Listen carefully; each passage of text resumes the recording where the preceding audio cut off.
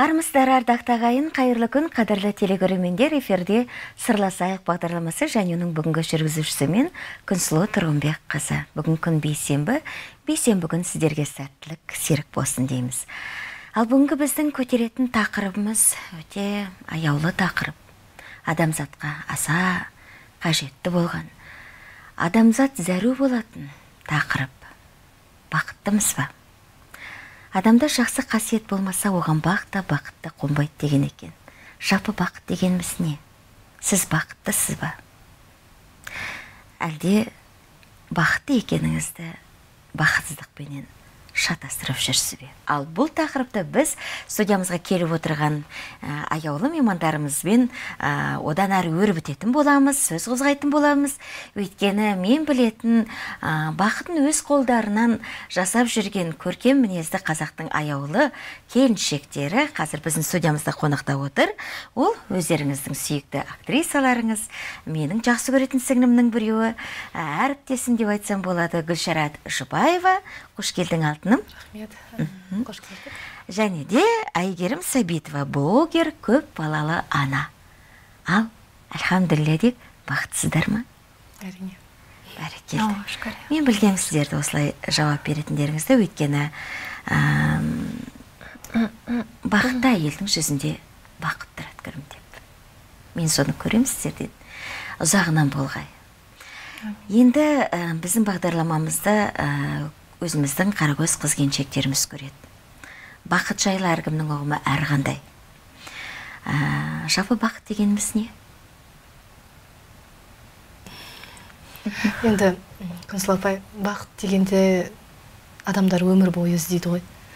Ә, бірақ бір түсінетініміз бақыттың қасымызда жүргенінде байқамай жатамыз.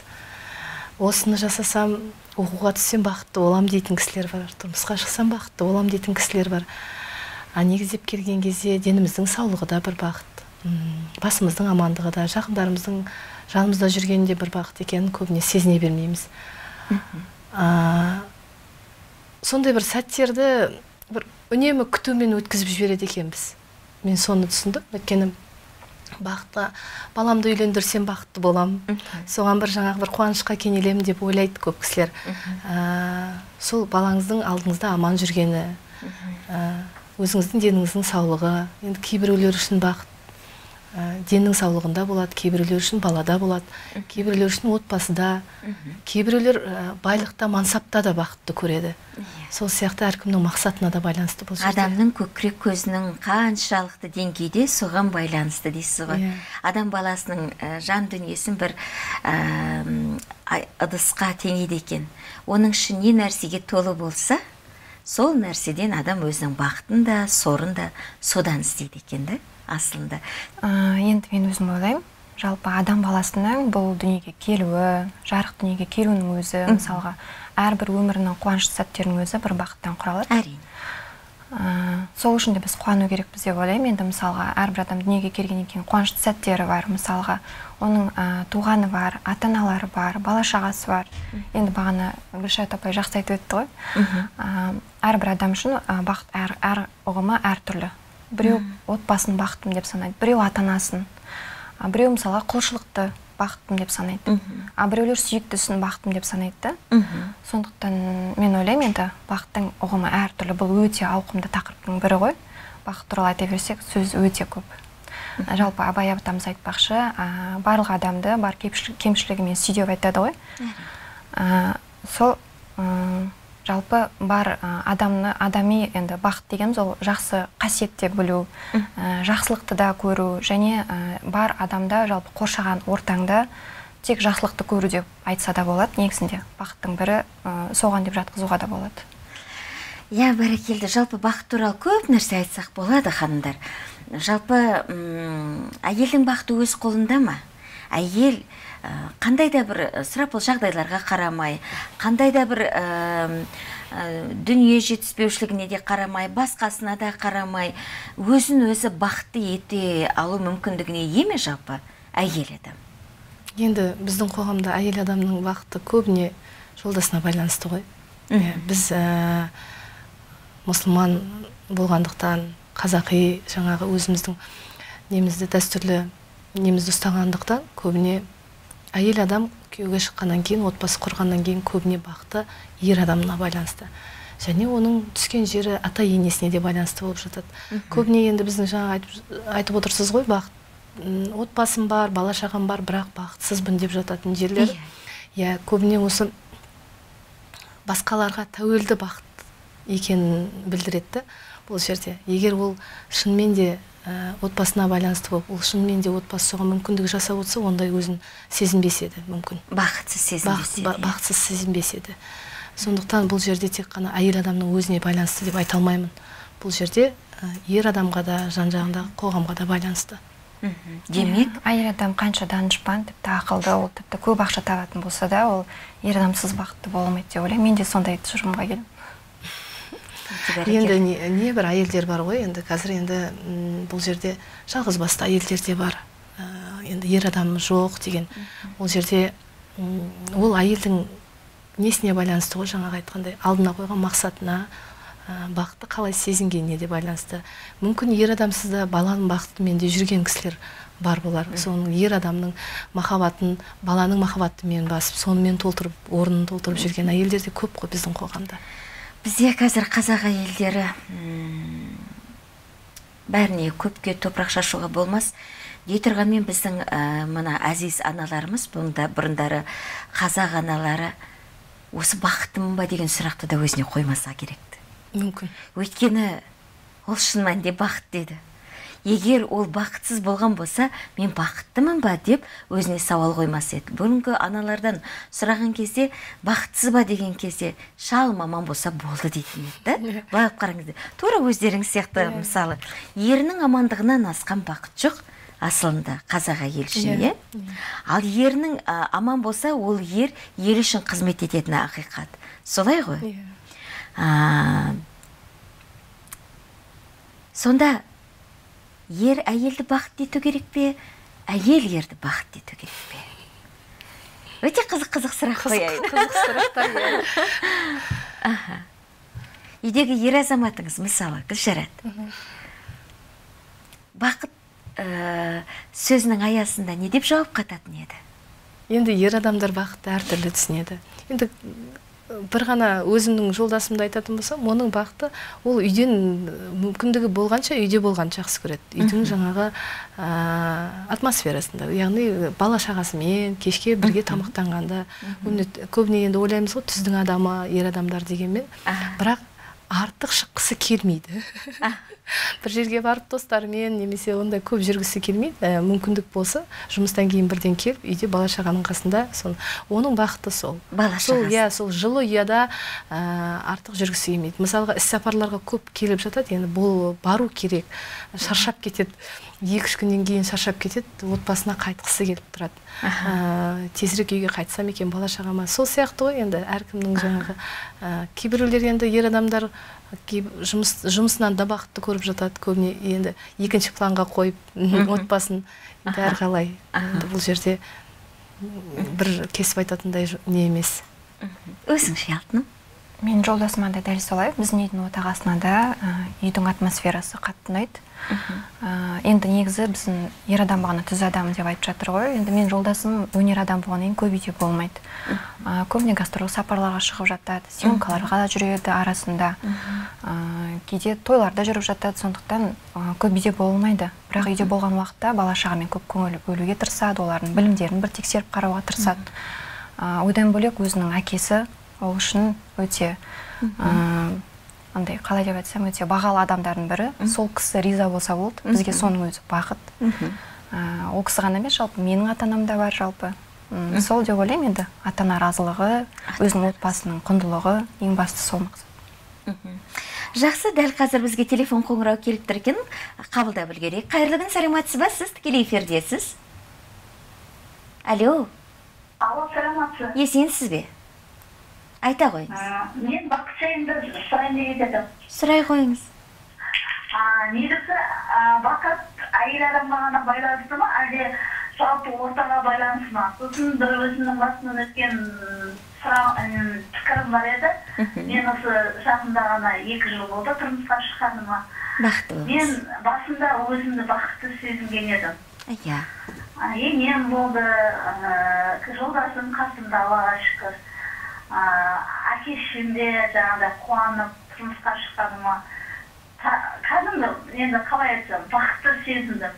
Бірақ біртін біртін келе мен бақытымды шыны керек. Бақытты әйел адам ретінде сезіне алмадым. Қазір қазіргі неде? Өйткені менің енем қайтыс болды. Одан кейін жолдасыммен ара қатынасым кішкене өзгере бастады. Ә, одан кейін қалай айтсам үйде жалғыз өзім отырғанда кейде өз өзіме сұрақ қоямын. Осы бақыт деген не өзі?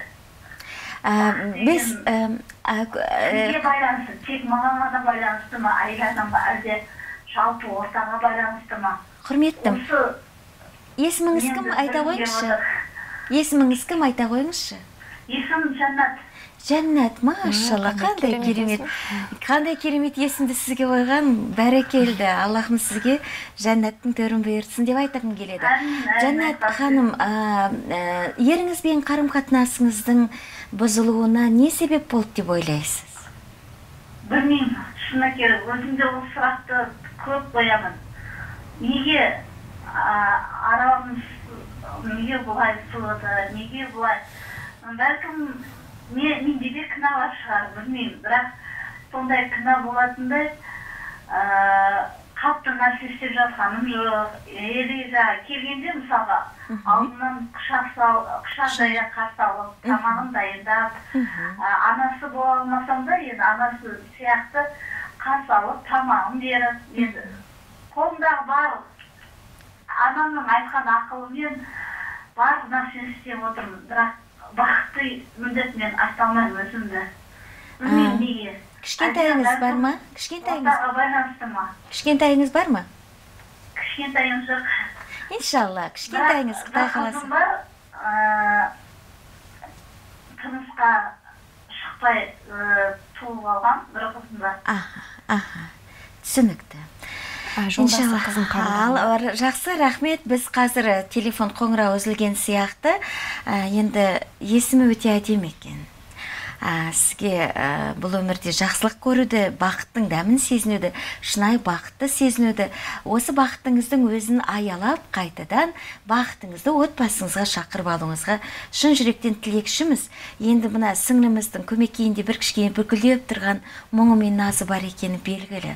Расында көп әйел адам ә, күйеуге шықтым тұрмыс құрдым міне енді мен бақыттымын ол мәңгі тұрақтап қалады деген бір қағидаменен жалған қағидамен өмір сүреміз ал бақыт деген расында ол бақыт деген бүткіл ғұмырлық еңбек екені ақиқат. Сүрінеміз жығыламыз жылаймыз ә, қателігіміз болып жатады кешірім сұраймыз төселеміз. Ә, оның барлығы еңбек ол өмір дейтін мектеп расында. Ал бақытты болудың мектебі жоқ шығар. Бәлкім енді сіздер не деп айтасыздар? Мен ойлаймын жалпы әйел адам мен ер адам қатына, қарым қатынасы. Ә, әсіресе отбасы ә, қуанышы жалпы. Көбінде әйел адамға байланысты. Негізінде тек қана әйелге емес енді екеуіне де ортақ қой. Ә, бірақ әйел адам көбінде біздер әйелдер әйел өте көп қателесеміз иә, бір, бір қолымен бесік тербетсе бір ә, екінші қолмен әлем тербетеді деп бекер айтпаған ғой. Қырық жанды бар деп. Ә, енді ол кісі анасынан айырылып отыр екен. Оңай емес әрине анасынан айырылу.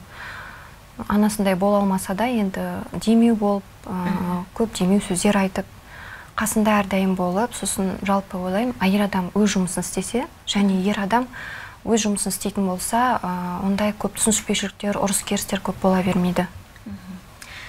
Меніңше көп келіспеушілік көп ә, бақытсыздықтың бір ұшын шығарып қоятын дүние қызғаныш. Қалай ойлайсыздар ол да бар енді көбіне жаңа жанат ханым айтып жатыр ғой. Басында бәрі жақсы болды деп. Енді махаббатпен тұрмыс құрған болар. Бәрі бізде бір қателік бар да. Жаңа айттыңыз ғой отбасы құрғаннан кейін бір нәрсені күтеміз. Біз болады ғой мына жаңа жылды күткенде де сағат 12-ден кейін бір нәрсе өзгеріп кететін сияқты осындай бір Ғажайып жылдың саны өзгергенімен ештеңе өзгермейді ғой. Ештеңе сол сияқты бұл жерде де отбасын құрғанмен ондай көп нәрсе өзгермейді. М, бұл жерде жаңағы айтқандай еңбек көбіне. Сосын көп әйел адамдар отбасына құрғаннан кейін өте жоғары планка қояды мысалға. Осыдан кейін осындай керемет бақытты болып сезінемін өзімді. Ал одан кейін ары қарай бізде күнделікті тұрмыс күйбең тіршілік басталады.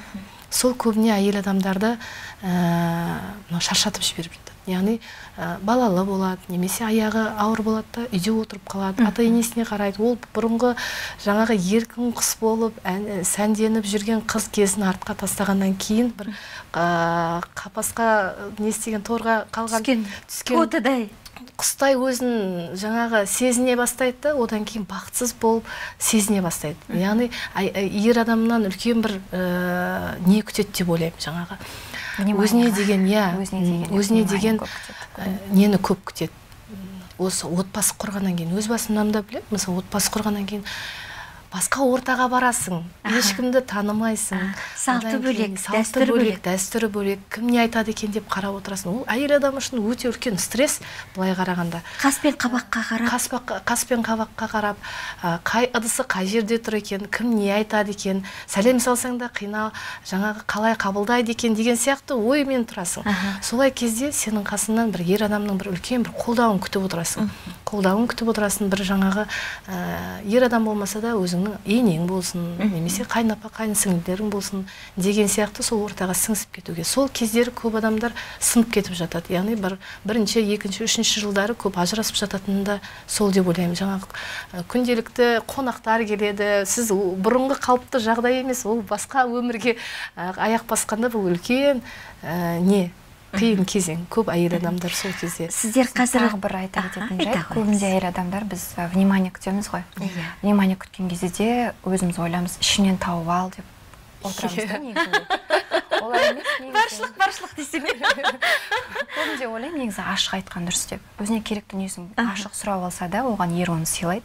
Сол кезде де мен ойлаймын бір екеуінің арасындағы бір қарым қатынас та уже жақсарады. И ол кезде уже отбасында да бір үй отыратын керемет отбасына айналады. Да ол да бір негізі керемет бір мен ойлаймын енді осы жерде біздің жаңағы қазақ ер азаматтарымыз көбіне мынау романтик емес. Ма?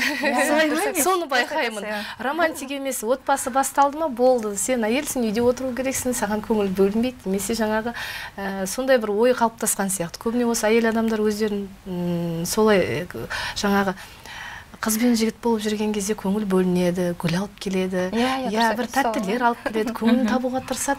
Ал алып алғаннан кейін ешқандай көңіл табуға тырыспайды. Қайда барсаң Болды ғой, сонда бар менікісің ғой болды ғой деген сияқты.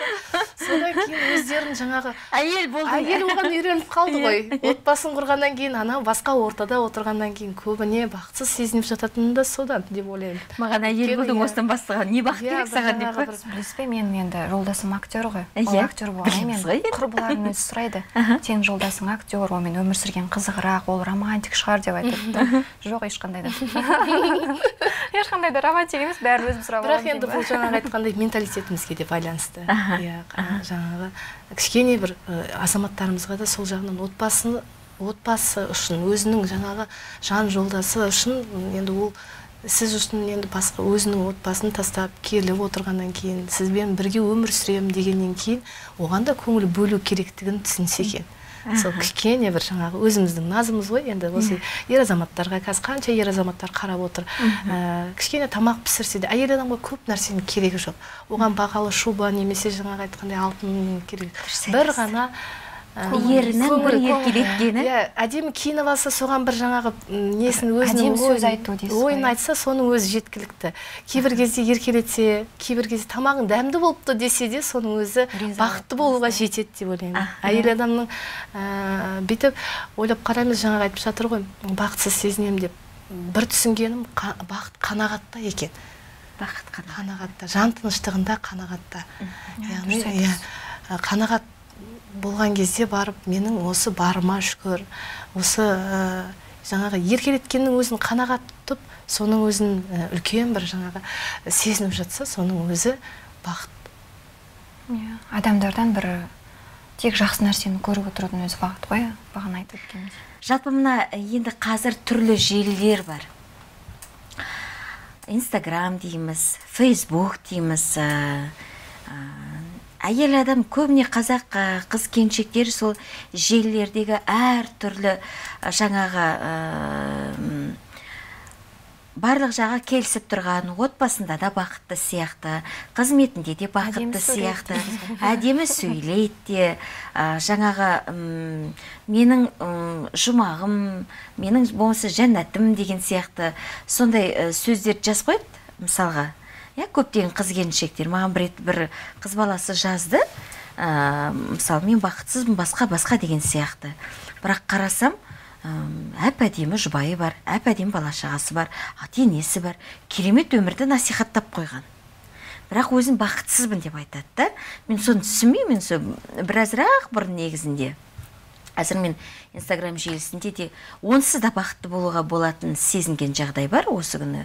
Мына желілердегі түрлі осындай бақуатты дәулетті сосын ақыл айтып отыратын бақыттың жолын көрсетіп отыратын түрлі психолог коуч мамандар бар қазіргі таңда. Ол өзінің басындағы бойындағы бақытын басқа. Мен осындай бақытты болдым сен де осы жолды көрші бақытты болып кетерсің дейді адам біреудің бақыт жолымен бақытты бола ала ма? Осы жөнінде айтып кетсеңіздер. Мен енді ойлаймын. Енді жалпы ә, инстаграм деп айтасыз ғой ана инстаграм желісінде. Ә, әдемі суреттер шығады. М, әдемі цитаталар деп айтып жатыр ғой. Мына афоризмдер неше түрлі әдемі қылып жазып қояды. Енді оның барлығы дәл сол инстаграмдағыдай емес негізінде. Мысалға мен де өзім инстаграм желісінде бармын. Кейде көңіл күйім болмаса да мен оны көңіл күйім бар сияқты етіп көрсете аламын да. Ол енді бір әлем ғой өзі. Өзінше бір бөлек әлем былайша айтқанда. Енді адамның өзіне байланысты ішкі жан дүниесіне байланысты деп ойлаймын. Мен егер ол кісі өзі жақсы нәрсе ойлап тұрса әрдайым ә, әрбір нәрседен бір құндылықты көріп ә, элементарно мысалға шүкіршіл болса да ол барлық нәрседен жақсы нәрсені көре алады. Өзінің істеп жүрген мысалға ісіне тіпті айтатын болса өзінің жақсы көретін ісімен айналысатын болса да оған бір бір жақсы күй береді мысалға. Енді қалай деп түсіндірсем ол енді бұл ауқымды тақырып қой енді қазір иә, жаңа айтып жатыр ғой мынау әртүрлі коучтар бар бақытты болудың сырын үйретемін дейтін коучтар бар. Мен осы мәселені жақыннан бері көтеріп жүрмін. Ә, менің енді инстаграмда жоқ екенім көрініп қалды біраз Ә, өте көп қазір иә шынымен де өте көп. Бұл сіз жалпы оқисыз Иә. ба сонда психологтар? Психологтарды негізі мен оқымаймын. Оқу керек пе Жоқ. жалпы? Оқитын Мен, жері де бар. Бірақ қазір өте көбейіп кетті саны бар сапасы жоқ деген сияқты. Көбіне енді ақша табуды көбісіне Иә, қазір сөйтіп ойлап бақытты болудың сыры үйретемін немесе миллионер болудың сырын үйретемін деген сияқты көбейіп кетті ғой. Бірақ бұл жерде бақ шаба ма бап шаба ма деген сөз бар. Алла тағаладан беріледі. Бұның бәрі әртүрлі адам әртүрлі тағдыры бар әртүрлі қабілеті мүмкіндігі бар.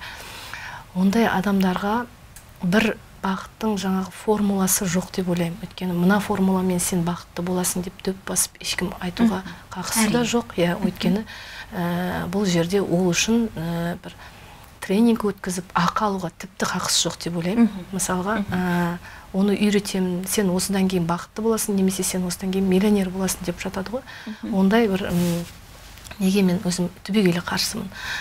Иә бақытты болуға көп нәрселер септігін тигізуі мүмкін.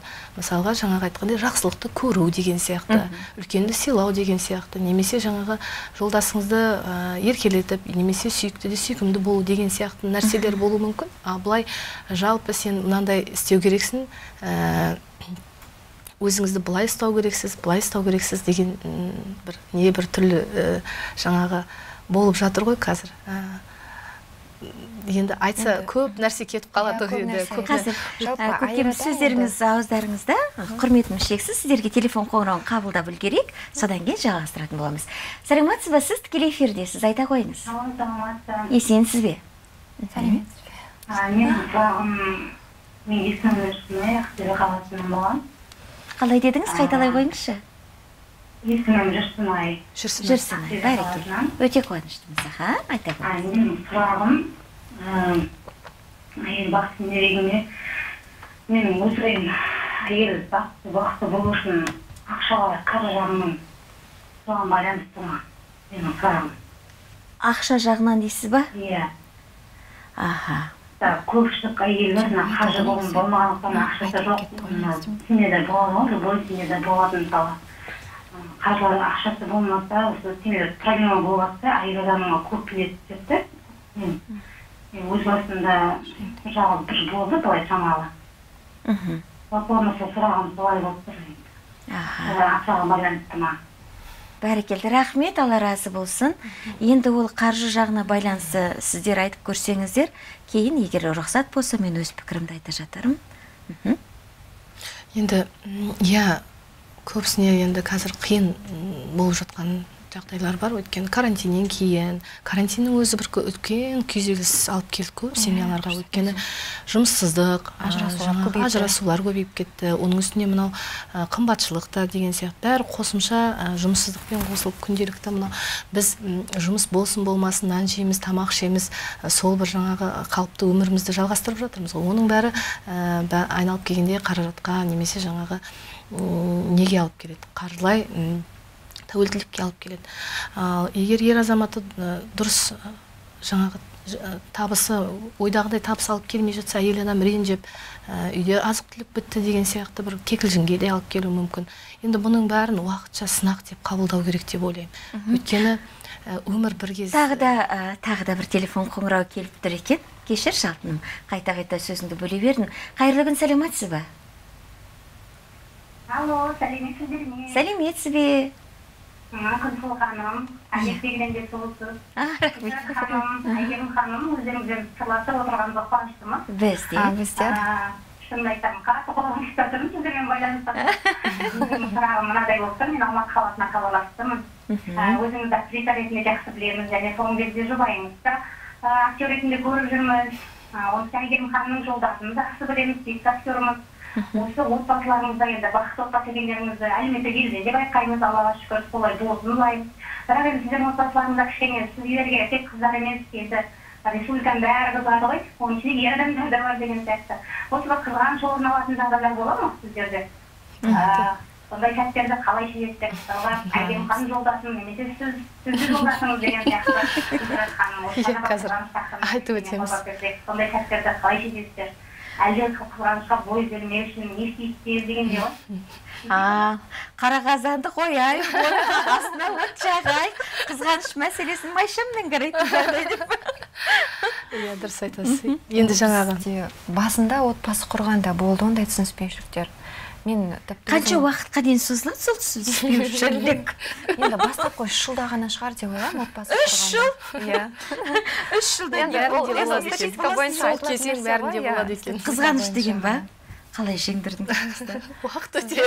Бір менің жолдасым бір сериалда гүлшарат апаймен бірге түскен. Иә. А, әке серті деген сериал ал болды осы жерде таза иә. Ол менің жолдасымды ойнады. Иә Ж- гүлшарат ханым жолдасын ойнайды да. Сол жерде мысалға біз енді жаңадан отбасы құрғанбыз. Ол кезде екі қызымыз ғана бар. Әлі кіші қыз екінші қызым әлі шақалақ кезі болатын. Мысалға біз енді ә, жастай отбасы құрғаннан кейін ә, менің жолдасым енді ә, бастапқы кезде аяғым ауырлығына андай таңғалып неткен жоқ андай қуанышпен бір қарсы алған жоқ шыны керек. Иә, сосын сол сериалда көріп қалдық та ә, гүлшарат ханым мен жұбайын ойнайды аяғы ауыр екенін айтыпты. Деп ойлаймын. Иә сол жерде представляете андай мә қандай қуанышты сәт деп андай айналдырып көтеріп Иә, сөйтеді иә, ғой мен ананы мен көріп алдым. иә менде солай болды енді. Жас жастық болған соң кішкене бір тиіп ренжіп қалдым сен мені өйтіп айналдырған жоқсың деп. Бәрі кинодағыдай емес қыздар. Иә сол үшін кинодағыдай емес. Сондай түсініспеушіліктер болған бірақ аллаға шүкір дәл қазіргі таңда енді төрт баланың ата анасымыз ғой оның бәрі өтті кетті. Енді ол нәпақасы болғаннан кейін барлығы осыдан кейін бесіншісін туып жіберсең тура айналдыратын. Бесіншісіне аяғым ауыр деп қояйын ба? Болсын болсын. Алла ғұмыр берсін баға иә әйгерім айтып жатты ғой. Жаңа да айттық қой. Енді біздің ер азаматтар кішкене бұл жағынан эмоцияға не келеді? Көрсете алмайды өзіміздің эмоциямыз. иә болады, ұяңдау болады. Ә, сол сияқты мен де бірінші балаға аяғым ауыр кезде мен қырғызстанда болдым ол кезде. Иә телефоннан айттым. Келген кезде бір үлкен нені күтіп келдім алматыға. Бір гүл алып қарсы алатындай бір құшақтап иә бір құшақтап бетіңді сүйетіндей. Жоқ ондай нәрсе ештеңе соған ренжігенмін. Иә сондай болды де болған иә, екен менде де болды иә. Неге неге бұл керемет сәтті бір кереметтей қылып қарсы алмады? Неге солай күтпеді деген сияқты ой болған. Сол сияқты енді бір нәрседен бір нәрсеге кетіп жатырмыз ғой ондай жағдай енді бәрімізде де бар ол әйгерім сен жалғыз емес. Иә. Ә, бәрібір сонда да жаңағы әйел адам төзімшіл ғой біздің енді қазақ әйелдері оның ішінде сабырлы келеді жаңағы айттық қанағатшыл келеді деген сияқты. Ә, әлеуметтік желіде бәрі керемет көрінгенмен иә біздің де отбасыларда болып жатады ыдыс Иә, ыдыс аяқ тұрмайды дейді ғой. Бір бірімізді кейде бір түсінбей қалатын уақыттарымыз болып жатады. Ә, ең кім басында бірінші кешірім сұрайды? мен сұраймын. Мен дұрыс болмасам да дұрыс болсам да ол мен үнемі өзім кешірім сұраймын. Менде дәл солай екен өзім бірінші Иә, барып сөйлей кешірім сұраймын. Тырысып жүрген менің көңілім мен сол күні барлығын басын ашып а- ашықтай айтып не екенін талдап сөйлесіп алғанды жөн әйтпесе мен ұйықтамаймын. Тыныштық болмайды иә. ұйықтай алмаймын. Ә, мүмкін жаңағы ер азаматтар тіпті ұйықтап та қалады. Сен иә, жылап иә өзіміз далаға шығып болармыз болып есінде ебіл дебіліміз шығып келгенше олар ұйықтап та қалуы мүмкін. Сосын сен ұйықтамай таңға дейін таңға оятып алып қайтадан сөйлесесің неге бұлай одан кешірім сұрап тыныштық тапқанымыз дұрыс. Сол сияқты ол әліге дейін жалғасып жатыр иә ол енді барлық семьяда бар деп ойлаймын. сөздің ашығы керек иә ол ә, адам болғаннан кейін пендеміз ғой. Біз періште иә. емеспіз.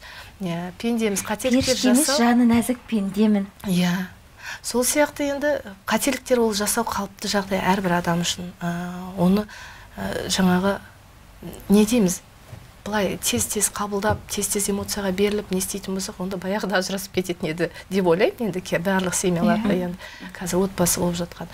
Ә, сондықтан бұл өтпелі кезең барлық жаңағы ә, жанат ханымға да айтып жатқаным өтпелі кезең сабырлы болу керек мүмкін жаңағы сынақ деп қабылдау керек. Ә, отбасылық қаржылық жағдай болып жатса да өзіміздің азаматтарымыз жаңағыдай өзімізді бағаламай жатса да бір өтпелі кезең деп ойлаймын. Ал қызғанышқа келетін болсақ қызғаныш менде де болған.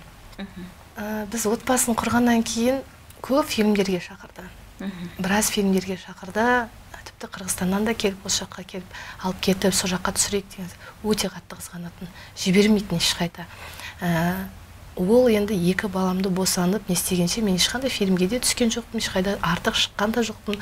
Ә, иә тойларға барып бірге жаңағы жүргеніміз болар. Бірақ артық ешкімге кездесіп құрбылармен кездесіп ондай жалғастырған жоқпын. Мүмкін осы бір кезеңде отыру қажет болған болар.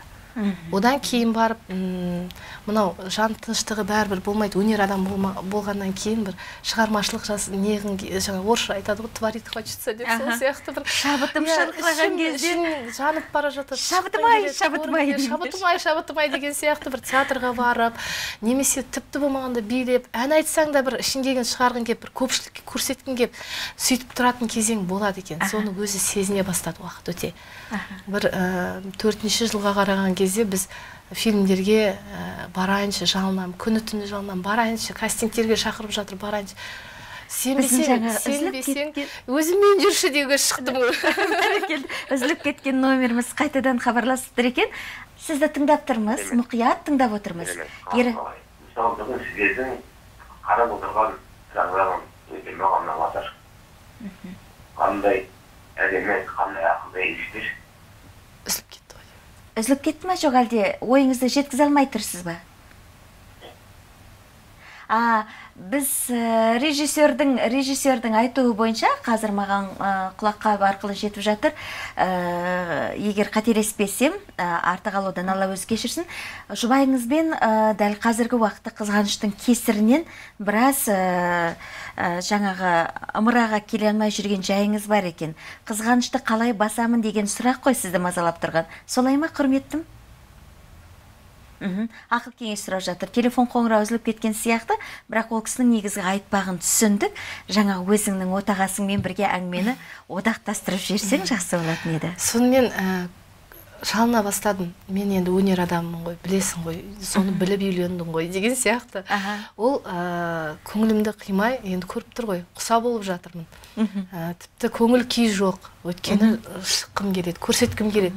Тіпті жаңағы билегім келеді деген сияқты өзім еш болғандықтан бір жағынан одан кейін жарайды бірге бара бастадық кастингтерге бірге бара бастадық. Сол әке сертінде ә, мені де қимайды өзі де қызғанышы жібермей бара жатыр. Режиссерға айтады маған да рөл бересіз? Одан кейін барып мен рұқсат беремін гүлшаратқа түсуіне. Сонымен әкесі ертінде осы мақсаттан қызғанып жүр әйгерім. Мен сізден қызғансам сондай қызық болған иә. Сонымен оған да жаңағы көңілін қимай анау барып кел алып кел жаңағы бір нәрсені әкеліп тастау керек сияқты сондай бір қағазды әкеліп тастайды ол кісінің отбасы бар бала шағасы соны бар бәрібір деп. айтсаң да қызғанады ғой бәрібір ханымдар сіздердегі қызғаныш лайым тек бақытқа ұласып жатсын деп тілей отыра тағы да бір телефон қоңырауын қабылдап үлгерейік. Қайырлы күн сәлеметсіз ба? Сіз тікелей эфирдесіз айта қойыңыз. Алло саламатсыздар ма есенсіз бе? Менің сұрағым мынандай еді жақында құрбым тұрмысқа шықты да. Иә. Жан құрбым. Бақжансың сөйтіп басында барлығы жақсы болып мақтап енесін мақтап күйеуін мақтап сөйтіп бақытты болғандай болып жүрді. Сөйтіп уақыт келе бір үш төрт айдан кейін басталды енесі өйтті енем бүйтті. Арамызға түседі көп. Ананы айтады мынаны айтады сен бізге ұнамайсың деді. Сөйтіп не керек осы бір жыл болды сондай әңгімемен екеуі ажырасқалы жатыр да енді. Соны осындай жағдайда негізі ыыы енді жеп жатыр да ол енді өзін. Мен неге осындай өмірім осылай болды сонда бақытсыз болдым ба мен деп күніге ұрсады сондай ұрыс керіс осы маған сондай өмір керек па деп. Сонымен осындай жағдайда қыз не істеген жөн енді ажырасып кеткен дұрыс па? әлде қандай жолы бар бұны шешудің өзі? Негізі ерлі зайыптының арасына жаңа адасқан түседі деп жатады ғой. Расында алланың разылығына бөлену үшін ердің разылығын алу қандай жағдай болса да сынақ қой ол сынақтың барлығына соншалықты күйіп пісіппесе керекті деп ойлаймыз енді сіздер. Не дейсіздер? Әйел адам енді екі жақта екі отбасында көпір болу керек қой. Иә. Мен ойлаймын бағана айтып жатыр ғой енем былай деп айтты тағы да әңгімелер айтып жатыр ғой енді. Иә. сондай жалпы өсек деген жаман нәрсе ғой. Өсекке жақын болмаған дұрыс деп ойлаймын. Енем бүйтіп айтты сөйтіп айтты деп тіпті жамандағанның өзі ерсі негізі. Енді екі жақты көпір деп айтқаным сол ғой. Енді екі жақта сөз тасымай бір бірін өсектемей жамандамай өзі ішкі жан дүниесін таза етіп ы, көрсетсе мен ойлаймын ол отбасында барлығы жақсы болады деп. Ол әйел адамның өзіне байланысты. Енді бұл те- тек қана әйелге қатысты емес қой енді бірақ көбінде мен ойлаймын әйел адамның қателігі сияқты. Әйел адам қателігі сіз ше дұрыс айтып отыр әйгерім. Өйткені тере берсе сөз көп. Сіз білесіз ба бізде болды мысалға. Әр отбасында қиын жағдай болады. Иә. Біз бастапқы отбасы құрғанда өте жастай құрғандықтан мысалға өзіміздің квартирамызға ақша төлей алмаған күн- күндеріміз болды мысалға. Бағана әке серті деп айтып жатсыз ғой как раз әке серті съемкасында болып жатқан кезде біз квартирадан шығып қалып төлей алмай тіпті қатты қиналған сәтте менің ата анамның үйіне уақытша тұруға бардық. Сол уақытта мысалға ә, мен егер жолдасымды анама жамандайтын болсам енді мен жолдасыммен татуласып кетемін. Ал анам деген менің жолдасыма деген уже ы, Пікірі жылуы, өзгеріп иә, пікірі өзгеріп жылуы да кетіп қалады ғой. Сондай сәттерде мен ойлаймын әйел адамға көп ақылдырақ болу керек. Жан екі жақты бір біріне жамандамау керек. Енді солай бір данышпандылығымен өзінің ақылдылығымен сөйтіп отбасын ұстап отырмаса ол өте қиын жағдай. Иә дұрыс айтасыз енді жаңа айтып жатыр ғой. Енем араласады енді ол қалыпты жағдай. Тіпті өзіңіздің анаңызбен сөзге келіп қалатын кезеңдер болып жатады ғой. Жаңағы анасы тепкен тайдың ет ауырмас деген сияқты. Ол кезде біз оны ұрсып жатыр екен деп қабылдамаймыз анамызды. Бұл сияқты и- енесі айтқан кезде бұл түрпіде естілуі де мүмкін. Мысалы қабылдамағандығы несі. Бұл енді бір біріне үйренісе алмай жатыр деп ойлаймын. Бұның бәрі уақытша кезең. Кішкене сабырлы Сабыр, болу иә, керек иә сосын сөзді тере берген кезде сөз көбейе береді. Мынаны айтты екен мынаны айтты екен. Бір көзіңді жұмып бір көзіңді ашып жүру керек қой. Енді шын айту керек енді иә. оның бәрін ол барлық семьяда бар ол барлық семьяда ол көз алдымызда жүріп жатыр ғой. Оның бәрін тере берсе ананы айтты екен мынаны айтты екен. Ол да өзінің ойын айтып оны ары қарай үдете бергеннен адамды солай Ушығып қабылдай керек қабылдау керек. Өзінің де ойын ашып күнделікті ұрысты не істей бергеннен бәрін ұмытып бір ә, мынандай дауыс көтермей жай ғана бір бірін түсінісіп ашық сөйлесіп алу керек. Не үшін ұнатпайтынын мен не істейін деген сияқты. Осы семьяға сіздерге ұнауым үшін мен не істейін. керек не істеуім керек. Мүмкін мен сіздің көңіліңізден шықпай жатқан болармын деген сияқты. Ол да әйел адам ғой енді. Санасы бар әйел адам болса енді мен ойлаймын жолын айтады. Қызым мынандай істе қызым мынандай деген сияқты. Немесе шынымен көңілінен шықпайтын нәрселер істеп жүрген болар. Енді бұл жерде көзбен көрмегеннен кейін ешкім айта алмайды. Мүмкін жаңағы бәрі мынау әйел адамдарда көбіне қазан ыдыс таяқтың айналасында болады ғой. Ол жаңағы ыдысын жумай кетсе де енесінің көңіліне тиеді. Және ол айтып қалса келіннің көңіліне тиеді деген сияқты. Иә. сол сияқты бір қалыпты бір күнделікті тұрмыс тіршілігінің арасында бір нәрсені дұрыс істемей жүрген болар деген сияқты. Содан күнделікті жиналып жиналып осындай үлкен бір ажырасу дауға болып келіп жатыр. сосын ол мен бізде дәл қазір тағы да бір телефон қоңырау бар екен. Қабылдап үлгерейік. қайырлы күн сәлеметсіз ба? Жақсы жақсы айта қойыңыз Э, біздің уақытымыз тапшылау болып тұр деген.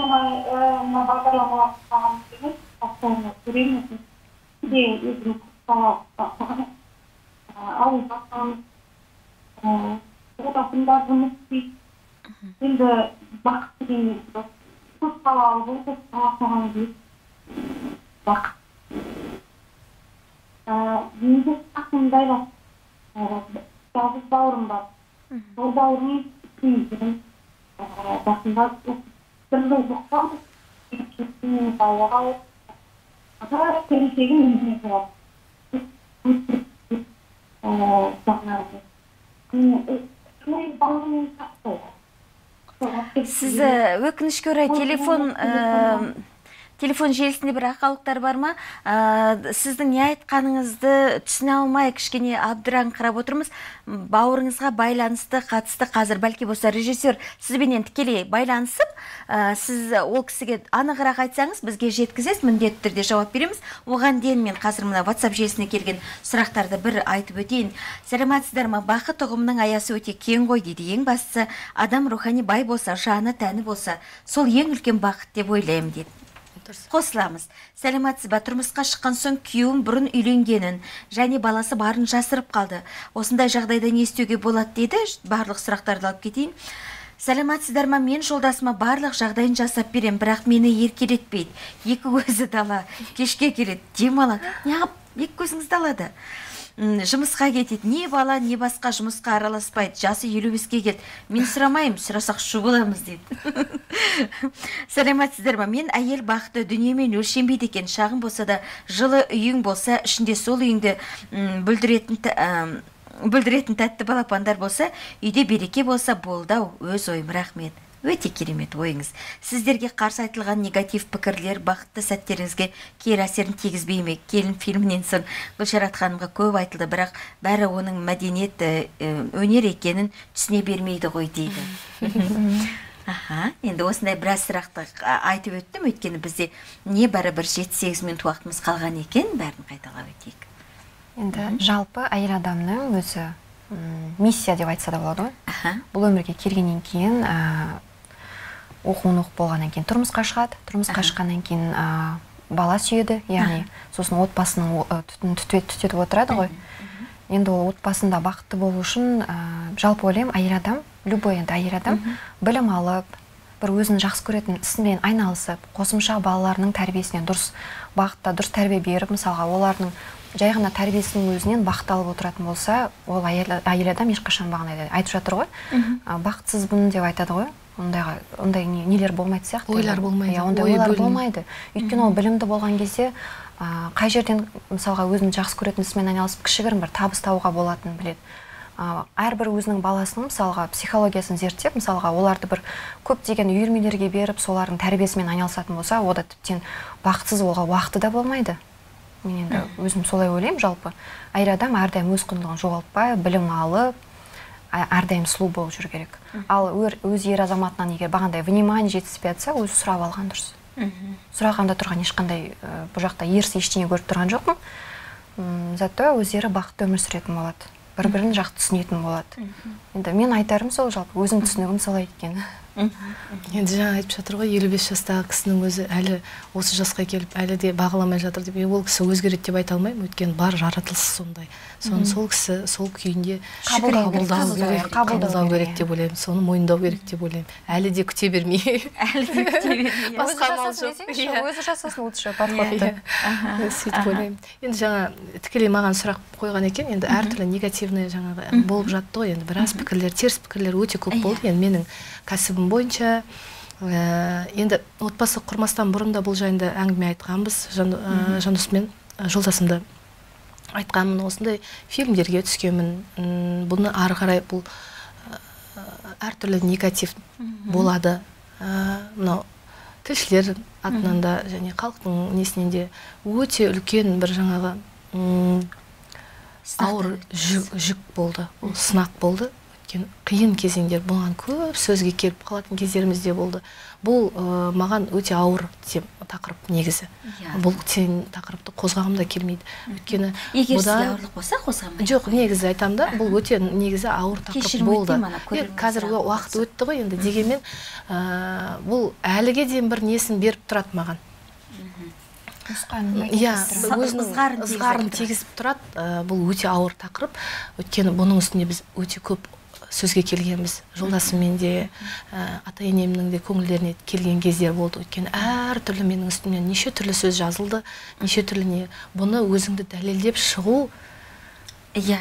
өте қиын болды маған. Өте өте қиын болды. Өзімді Бірақ негізі қандай адам екенімді дәлелдеп шығу өзімнің жаңағы ә, адалдығымды ол кісілерге деген ә, жаңа қарым қатынаста адалдығымды дәлелдеп шығу маған өте қиын болды жылдар бойы. Сондықтан да әлі ызғарында сезіп келе жатырмын. Бірақ қазір он жылдан кейін барып басымды көтере бастадым. Шыны керек. Денем иә шынын айтып жатырмын енді өйткені он жылдан кейін барып барлығы жан жағымда көз жеткізді деп ойлаймын. Енді қателеспейтін адам жоқ қой. Әрине әрине. Пенделік барлық адамның басында бар ә, сондықтан бұны бір қателік бір бірақ өзінің шүкіріне келіп өмірін өзгерткен адам алла жолында хақ жолында адалдықты өзіне жалау етіп ұстаған адамның одан әрі бақытты өмір сүріп бақытын қолдан жасауға ешқандай да ә, Кедергі жоқ. кедергі жоқ қой иә? Әрине. Иә жақсы. Мен өзім ойлаймын бұл өте үлкен өнер болды. Жалпы өзім солай бағалаймын. Жалпы асылында біздің бір бес минут төрт минут уақытымыз қалған екен. Ә, сұрақ өте көп келіп жатқан. Ә, бақыт ол әйелде де ерде бала дүниеде де- ә, балада да дүниеде емес. Бақыт ол адамның өзі осы өмірге келгеннің өзі бақыт. Бір апа жақында операция болды он бір баласы бар. Балдарым бақытым деп жүрген еді бірақ сол кезде қателескенін түсінді деп солай деп айтқан екен. Енді әркім әртүрлі ойлайды. Енді менің жүргізуші ретінде бақыт тарабында айтуға енді мүмкіншілігім бірақ ә, отбасының амандығы ер азаматының амандығы деннің саулығы шүкір мен қанағатта деп ойлаймын. Енді кішкентай ғана мүмкіншілік болса. Енді ә, тағы да бір бәр, үйдегі бақыт пен берекені кетіретін ә, түрлі әйел адамның бойынан табыла беретін кез келген сәтте ұрымтал сәтті пайдаланып неге былай емес неге былай емес? деп ойдың өзін санамызға сіңіріп тұратын. Жақсы білеміз ғой. Оған сенің иманың жақсы күресе білсе ә, дұрыс жауапты ешкімнің көмегінсіз тауып жатамыз иә? Мысалы шүкірсіздік қырсықтық ерегес тәкаппарлық қызғаныш басынан сөз асырмау тек мен мен мен деген сияқты нәрселер көп әйелдің бойында кездеседі. Ең ақылдымын деген әйелдің бойында да кездесіп жатады. Не істейміз не істемек керек? Төрт минут уақытымыз бар қыздар. Үш жарым минут. Енді жан сұлулығы тән сұлулығы жүректің тазалығы иман ғой. Иә. Иманы берік болса ол мен ойлаймын барлық жағынан жақсы болады. Сабырлығын да сақтай алады. Ыыы ұрыс керіске де жақын болмайды. Сол жағынан білім алып сол жағын дамытса деп ойлаймын. Енді менің түсінігім солай енді. Жаңа айтып жатыр ғой енді мен мен деп әйелдер адамдар көп айтуы мүмкін енді пендешілікке салынады. Дегенмен мынау қазір психологтардың да көп осы жағынан не істеп жатқаны да бар енді мендікке үйретіп жатқаны да бар. дұрыс айтасыз. иә мендікке үйретіп жатқаны да бар. Өзін алдыңа қой өзіңді бағала бірақ иә. осы мен ол Мен жағына онша жалпы келісе бермеймін. өйткені біз бір нәрсені мойындауымыз керек. Ер азаматтың бас екенін отбасында бірінші екенін иә, біз мойындауымыз керек. иә, төмен етек екенімізді мойындауымыз керек. Әйел адамдар мен мен деп алдыға жүгіре бергенді онша мен ұната бермеймін. Былай отбасының қарым қатынаста Ә, бұны мойындап сол кезде жаңағы айтқанына жаңа айттым ғой төрт жылдай үйде отыруға тура келді деген сияқты. Сол сияқты қызғанышын да мойындап отыратын кездер болады. Бұл бір өте өз, өтпелі кезең деп сезіну керек. Ал енді бақытты енді отбасы жоқ әйелдер де көп қой. Енді олар енді әр адам енді әйел адам болсын не болсын үлкен адам болсын жаңағы айтқандай әрбір сәтті көп күтеміз да мынау отбасын құрсам жақсы боламын көп ақшаға кенелсем байлыққа кенелсем бақытты боламын деген сияқты кезең емес. бір сол сәтті бара жатқан сәтті Бағалау ала- дейсіз иә, бағалау керек. Қазақ әйелінің бақыты басқа бір халықпен өзімізді салыстырмай ақ қояйық. Ер адамында ер адамның амандығында ер адамы қашанда биік. Ерің бақытты болсаң өзің бақыттысың. Еріңнің разылығын алсаң алланың разылығына бөленесің. Міне қазақ әйелі үшін бақыттың формуласы біреу ғана қандай болса да шүкір етіңіз қабылдаңыз. Алла сізге осы ерді сізге лайық деп ә, сіздің маңдайыңызға жазған еді. Сіздің алланың бұйырғанына қарсы шығар уәжіңіз бар ма? Бөлтіріктің қартайған шағында айтқан екен ағата байлық кімге қонады бақыт кімге қонады баластық па? деп. Сөйтсе байлық дегеніміз мұз емес пе қолға ұстасаң еритін де кететін. Бақыт дегеніміз құс емес пе ұшатын да кететін. Бақыт дегеннің артында қалған із емес пе? деген екен. Және де ең үлкен бақыт ағайын туған құда жекжат жұрағатпенен сіз біздесіп сыйласып өткен өмірге не жетсін? дейді. Осыларға ә, жаңағы жүрегің жақын болса қайғың күл қуанышың от деген екен. Бақыт деген бір ақ ауыз сөз ер адамыңызда. Келесі эфирде жүздескенше аман болайық.